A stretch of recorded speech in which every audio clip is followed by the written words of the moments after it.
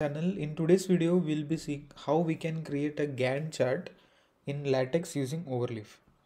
So gantt chart is usually uh, used to uh, visualize or to track the schedule of your project or in how many days your different milestones can be possible. So it is usually given in different weeks and it's very easy to create in latex so we'll see the code how we can uh, make this kind of Gantt chart in uh, latex. So this is the code for this particular uh, Gantt chart.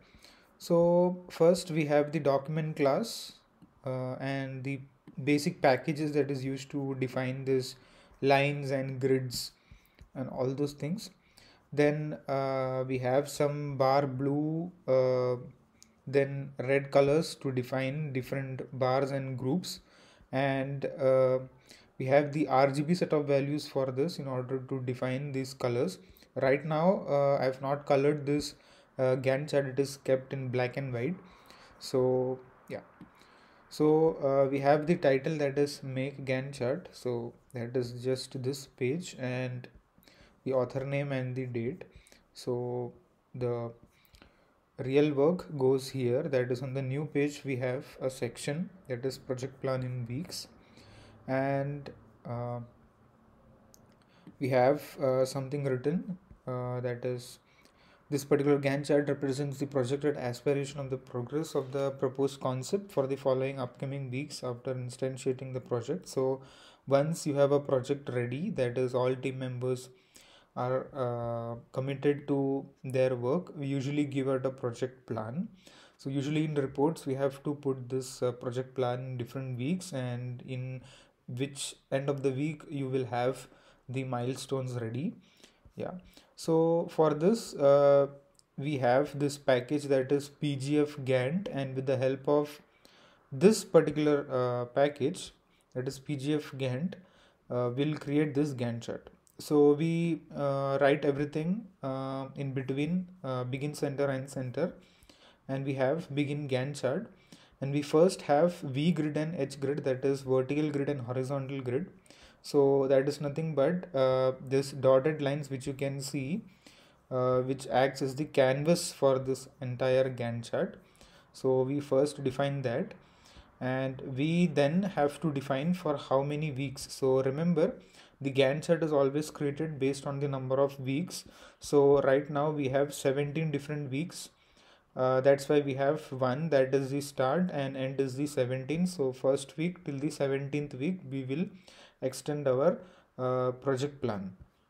So then we have the Gantt title. So it's given as ILMS project plan and uh, November 2021 and then as you can see it automatically uh, creates this structure and you have to give the uh, title list. So it is from 1 to 17 uh, you can use as an enumeration. So uh, you enumerate from 1 and all the uh, values in between are automatically just populated there. And the end one uh, that is the end week that is the week 17 so that's how it just enumerates and create this structure. Now we have to make this Gantt chart not in a uh, vertical way uh, not in a horizontal way but in a vertical way. So that's why we have different steps intermediary steps in between. So we'll uh, follow a vertical approach. So first we define uh, Gantt group that is group 3 and we have 1 to 17 so uh, this is uh, the name of the group or the name of the project team that you will be uh, assigned to just for an identifier.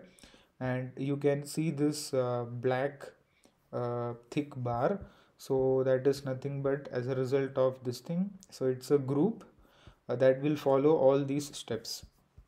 Then uh, we have a Gantt bar that is brainstorming. So this is one first bar that is uh, starting right from here and you can see the start and end of this is given as 1 1 so within the first week uh, the brainstorming activity is finalized. So following uh, each entries you have to follow uh, backslash.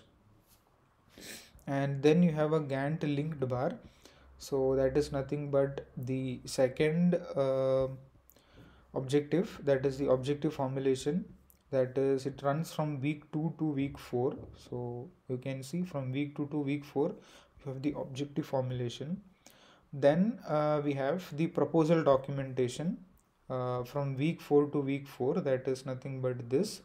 So as you can see we nowhere define this particular arrow which is connected uh, from the previous uh, step to the next step but it's automatically generated with the help of this particular library that is pgf uh, gantt package. Then uh, we have the gantt milestone that is proposal submission. So that is nothing but the fifth one. So this is a separate uh, symbol that you can see. It's a diamond which you can see. So that represents a gantt milestone. Okay? So milestone is just given only for one particular week. It does not extends over different week but just for only one week. So we have only just one number that is 5 on the fifth week. Then we have gantt linked bar. Uh, another uh, step that is implementing uh, a module. So it starts from week 7 to week 9 and uh, whenever we want to go to the next line we just apply the command gantt new line.